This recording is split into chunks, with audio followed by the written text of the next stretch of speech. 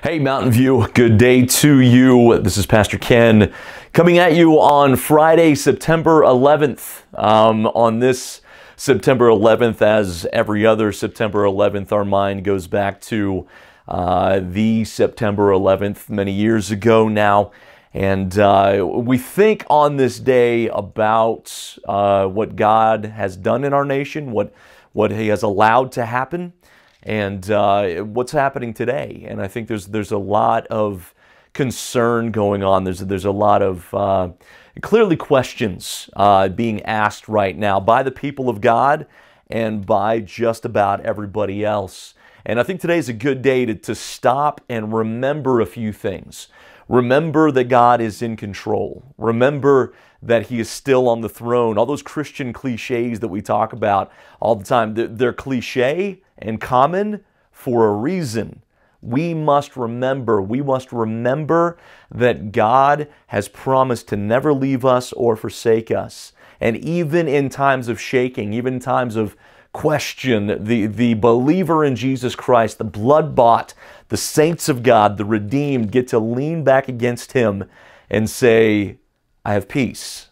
Even when everything around me looks unpeaceful, I have peace. Psalms 46, I was reading this morning, uh, says something very appropriate and applicable today, verses 1 through 3.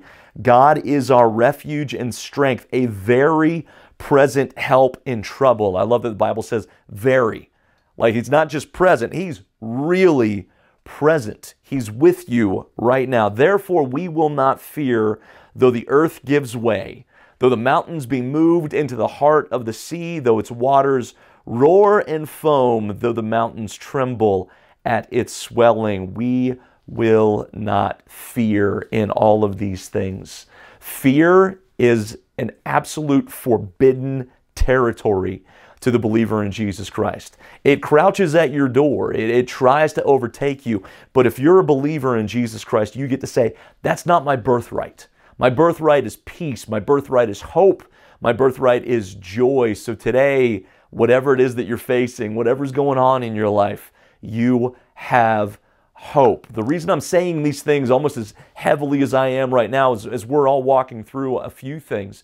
Uh, one of the things I need to tell you about is Robert Holliday's uh, memorial service is tomorrow here at Mountain View at 11 a.m.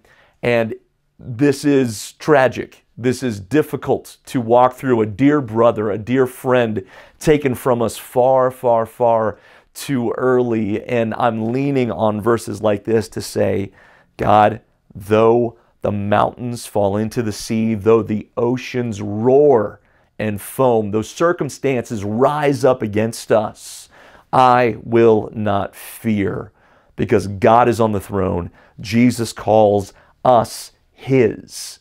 And we get to say, all right, He's going to bring us through. That's absolute truth. So come on out tomorrow at 11 a.m. for Bob Holliday's service. Let's throw our arms around that family and mourn with them in this time of mourning and also celebrate a life very well lived by our brother Bob, who is now resting in a way that we can't even fathom here. And then join us at 10 a.m.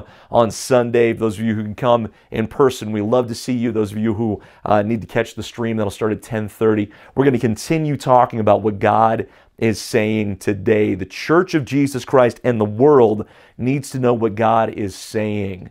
And John 10, the, the Lord says that my people, my, my, the sheep of my pasture, my sons and my daughters, they know my voice. How can you know it?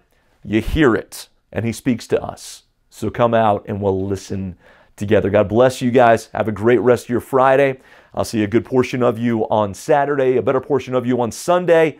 And for those I won't see, I love you. My heart is with you. Stay in touch. God bless.